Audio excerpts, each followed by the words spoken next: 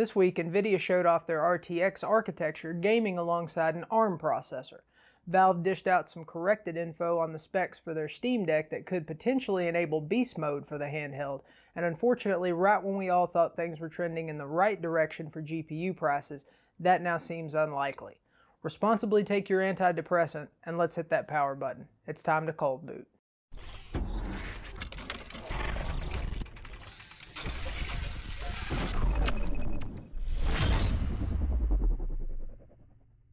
Welcome back. It's Poe back again with Let's Get Techy.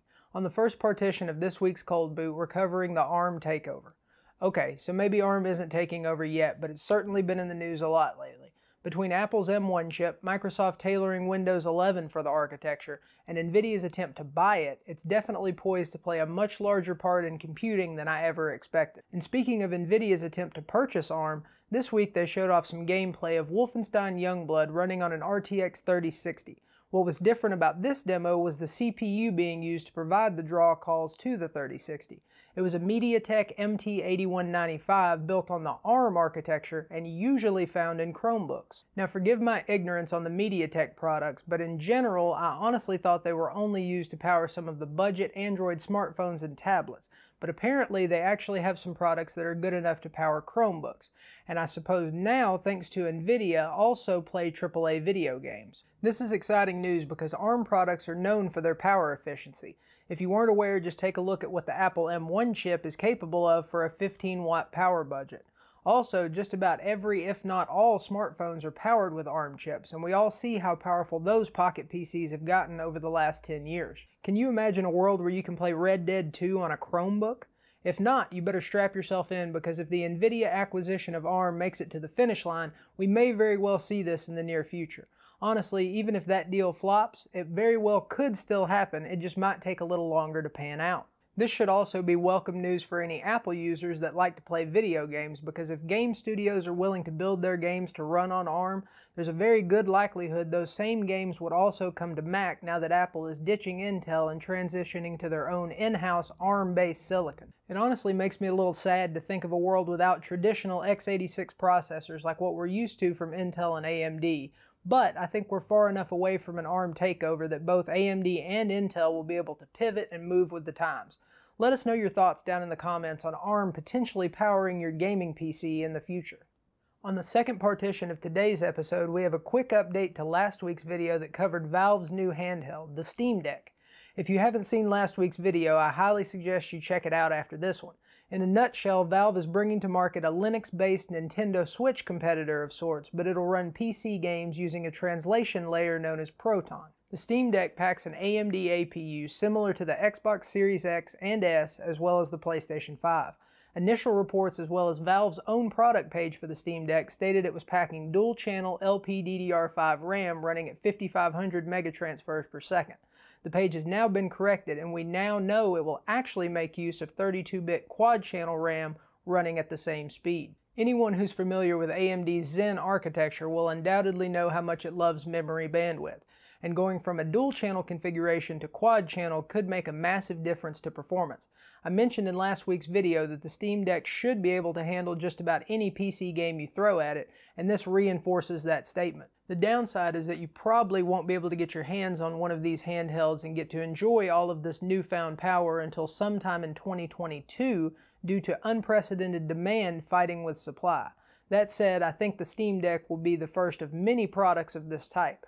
With as popular as this device will be, I think we'll see not only companies making similar devices, but also Valve making updated versions of it in the future. Coming full circle with our first story this week, I could absolutely see a future generation of the Steam Deck running on ARM architecture, and who knows, maybe even an AMD APU using ARM architecture.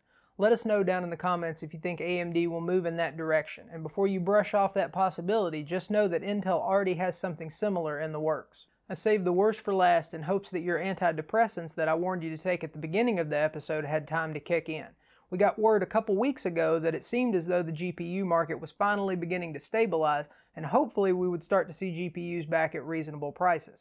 Well, that's ended up in the ditch like a Mustang at a car meet this week. YouTube creator Moore's Law is Dead has gone on the record as saying we aren't likely to see GPUs at normal pricing through the end of this year.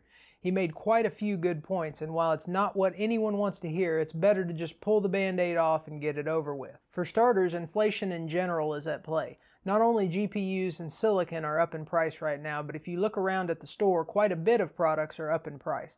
Unfortunately, this includes not only GPU dies, but also the components that make up video cards in general, substrate, power delivery components, and especially memory. The memory that holds your frame buffer while you're playing Call of Duty has basically doubled in price since the current generation of cards were released, well at least the higher end GDDR6X has.